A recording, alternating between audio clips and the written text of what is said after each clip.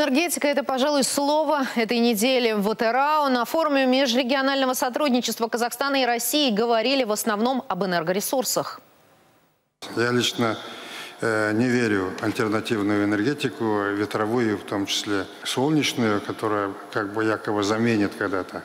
По-моему, по э, сланцевой эйфории тоже приходит какое-то понимание, поэтому нефть и газ – наш основной конек – и не надо нам этого бояться, что мы там сырьевые. Но и слава Богу, что у нас есть это сырье, которое мы будем экспертировать, зарабатывать деньги. самое главное, на эти деньги надо делать индустрию. От слов к делу в ВТРАУ Назарбаев и Путин запустили новый и весьма амбициозный проект под названием «Евразия». Проект пойдет, пошел, и символически мы считаем, вы одобрите нашу совместную работу.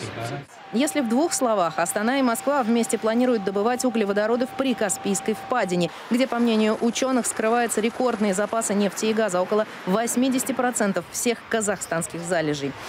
Если подробнее, реализация проекта начнется уже в следующем году. На все уйдет 5 лет и около 500 миллионов долларов. Тратить такую сумму, по прогнозам геологов, резонно. Евразия – это не меньше 60 миллиардов тонн углеводородов. Найти все эти запасы, считают кураторы проекта, можно на глубине 7-9 километров. И вот это самое интересное. В то же время и самое сложное. Казахстан и Россия в прикаспийской низменности собираются ставить мировой рекорд по бурению скважины – 15 километров. Сравнимо с запуском первого спутников космоса, а значит, нужны новые технологии и специалисты. Нужно делать эти профессии привлекательными. В первую очередь, конечно, это касается оплаты труда и условий работы, потому что работа это очень тяжелая. Ведь у нас очень много людей убежало и продолжается отток специалистов до сих пор.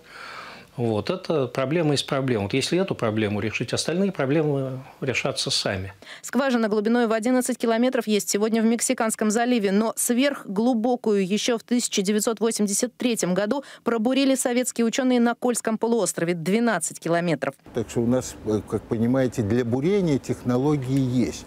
Проблема в другом э, это большие, на больших глубинах очень высокие температуры и давление. И тогда это проблема буровых растворов и геофизической аппаратуры, которая бы могла работать при высоких давлениях и температуре. Такой вообще технологии, конечно, ну и на Западе не особенно сегодня разработаны. Это все относится к категории того, что нужно делать. И поэтому вообще вот необходимость создания таких технологий, она будет резко стимулировать инновационные всякие технологии. Никто не скрывает, рекорды нужны в первую очередь для науки. Пробурив сверхглубокую скважину, можно будет получить модель массива осадочных пород при Каспийской низменности. А это позволит увидеть более детальную картину, какие там есть запасы полезных ископаемых, причем не только углеводородов.